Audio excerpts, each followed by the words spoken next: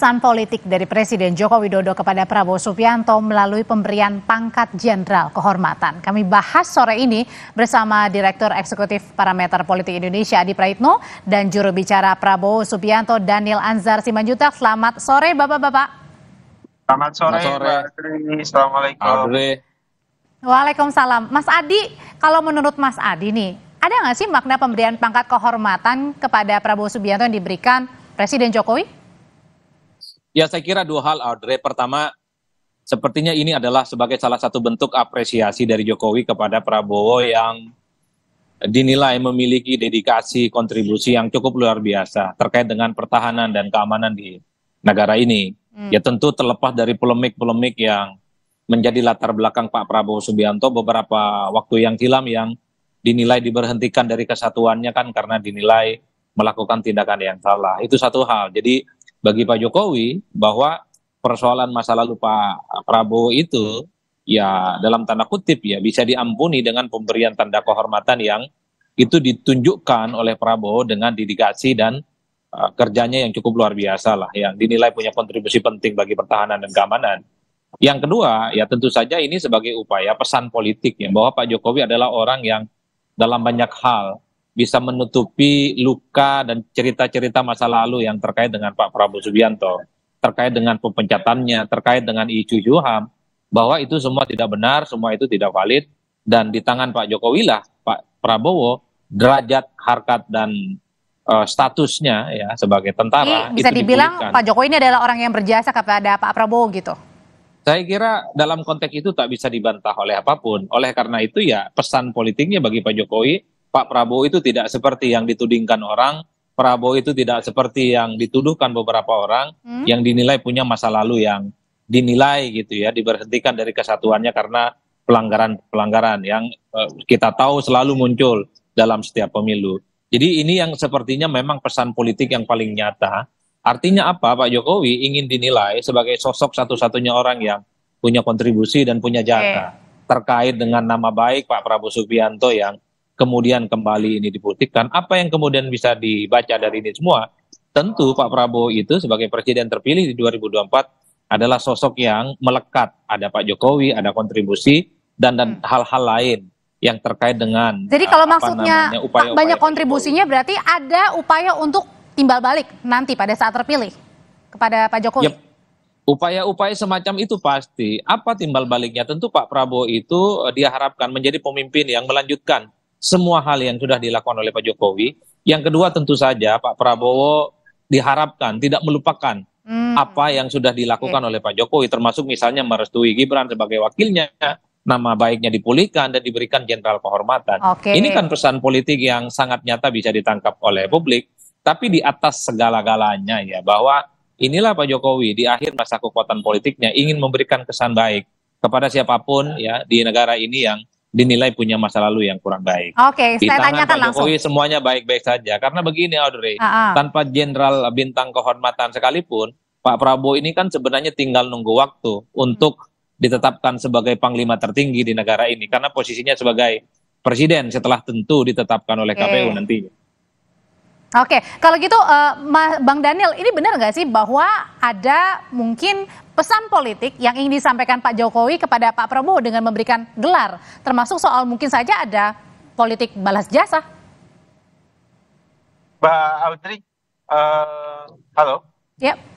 Uh, ya, Mbak Audrey, uh, banyak pertanyaan yang dialamatkan apakah uh, pemberian tanda uh, kehormatan kenaikan pangkat Oke, Bang Daniel kita coba perbaiki komunikasinya karena sedang dalam melakukan perjalanan memang ke Jakarta tadi saat mendampingi Pak Prabowo Subianto di uh, Bandung, Jawa Barat. Misalnya, Bang Daniel, mohon maaf ini terputus-putus, boleh diulangi lagi, Bang?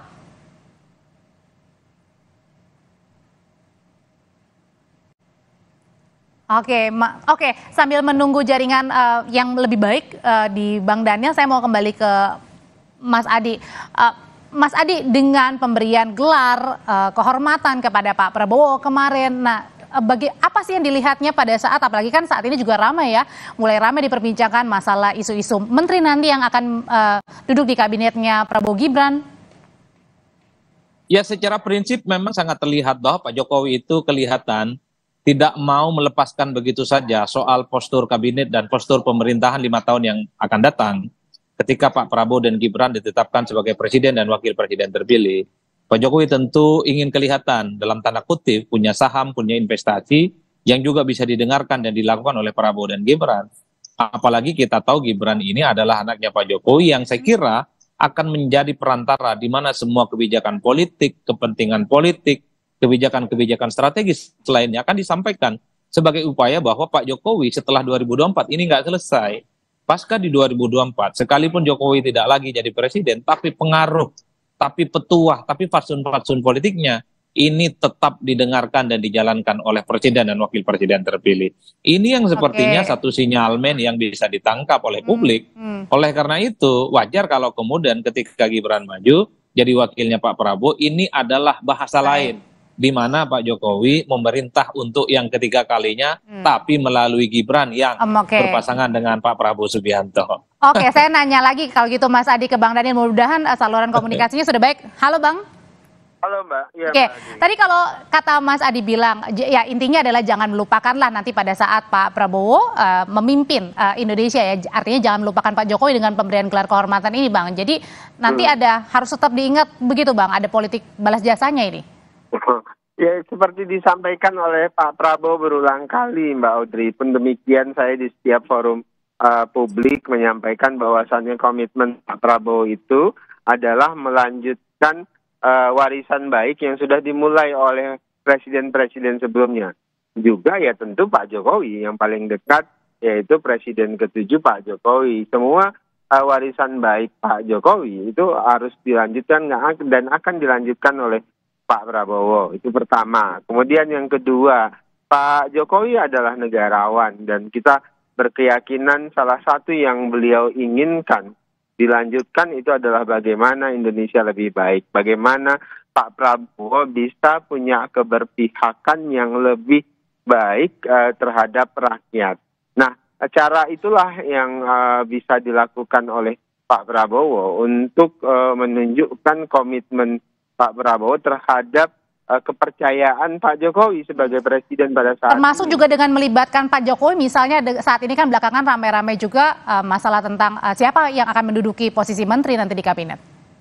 Mbak paling sederhana adalah semua para pihak yang membantu Pak Jokowi apa Pak Prabowo dalam hal ini menjadi capres kemudian punya pengalaman panjang, panjang pasti dilibatkan oleh Pak Prabowo. Pak Jokowi punya pengalaman panjang sebagai presiden, punya uh, modalitas politik, tentu Pak Prabowo mem akan meminta saran dan akan melibatkan beliau. Pun demikian dengan Pak uh, SBY. Hmm. Beliau punya pengalaman panjang sebagai presiden, punya kekuatan politik.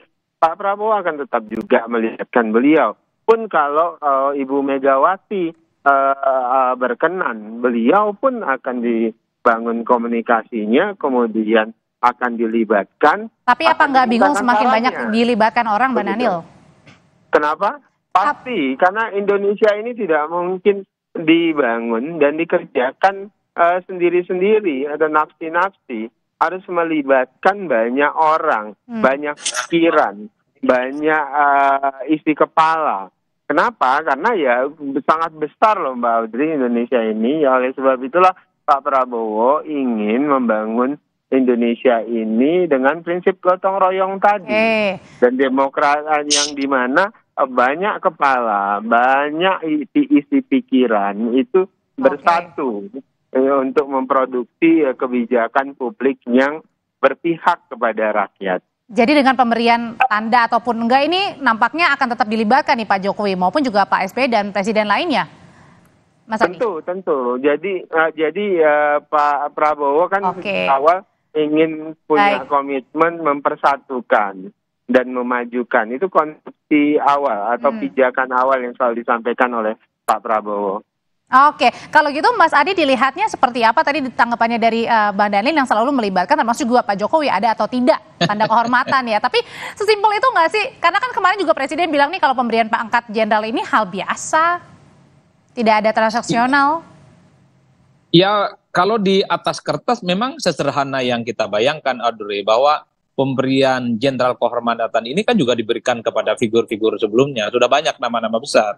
Tapi kan publik tidak sesederhana itu melihatnya. Ini semacam investasi politik kebaikan yang sepertinya ingin ditunjukkan oleh Jokowi kepada Pak Prabowo Subianto bahwa apa yang didapatkan oleh Pak Prabowo hari ini dengan merestui Gibran sebagai wakil termasuk misalnya nama baiknya dipulihkan dengan pemberian jenderal kehormatan ini itu tidak terlepas dari upaya-upaya yang telah diberikan oleh Jokowi ketika masih menjadi presiden meski sisa akhir jabatan politiknya tinggal enam bulan. Yang ingin saya tegaskan kembali Audrey, persoalan apakah nanti Pak Jokowi akan dilibitkan atau tidak dalam komposisi kabinet itu tentu hak prerogatifnya Pak Prabowo. Kalau yang dilibatkan itu hanya sebatas teman diskusi, teman ngobrol, minta masukan, minta hmm. feedback, hmm. saya kira nggak ada persoalan dan itu sepertinya akan dilakukan oleh Prabowo kepada semua pihak dan mantan-mantan presiden sebelumnya, bukan hanya kepada Pak Jokowi tapi juga kepada SBY, Megawati dan seterusnya dan seterusnya termasuk ketua-ketua umum partai pengusung. Tapi kalau yang dimaksud uh, dilibatkan adalah upaya untuk mengintervensi, mendikte dan mencawe-cawe, saya kira itu menyalahi undang-undang. Karena dalam undang-undang disebutkan bahwa persoalan menteri itu adalah hak prerogatif presiden, bukan hak prerogatif mantan presiden, bukan hak prerogatif misalnya mantan presiden ataupun ketua umum ketua umum partai. Meski wakilnya adalah anak Pak Jokowi. Betul. Karena yang diberikan kewenangan penuh dalam menyusun postur kabinet itu adalah presiden dan itu tidak boleh dilanggar oleh siapa pun. Jadi siapa pun yang merasa pernah jadi presiden tak terlampau perlu sebenarnya terlampau jauh untuk mengikuti persoalan postur kabinet itu yang akan disusun oleh Prabowo itu urusan Pak Prabowo bukan urusan Baik. yang lainnya. Jadi kalaupun toh ada masukan apa ya kalaupun toh dilanjutkan ataupun diaplikasikan itu urusan Pak Prabowo Subianto. Tapi ini yang sering saya ulang Audrey. Oke, Pak Prabowo ini adalah seorang prajurit. Tahu persis kapan harus tegak lurus kepada pemimpinnya, harus taat kepada atasannya, tapi pada saat yang bersamaan Pak Prabowo ini tahu persis kapan harus memimpin ketika sudah diberikan amanah hmm. sebagai presiden di Republik Indonesia. Dengan kata lain, ketika Baik. Prabowo diamanahkan jadi presiden di 2024, maka soal kebijakan, arah, dan kepentingan politik bangsa ke depan itu tentu ada di tangan Pak Prabowo Subianto, bukan di tangan yang lainnya. Direktur, itu hakikat prajurit yang saya tangkap begitu. Ya, Direktur Eksekutif Parameter Politik Indonesia, Mas Adi Praetno, terima kasih sudah berbagi pandangan dan juga ada juru bicara Prabowo Subianto, Bang Daniel Anzar Simanjuntak. Saya selalu semuanya.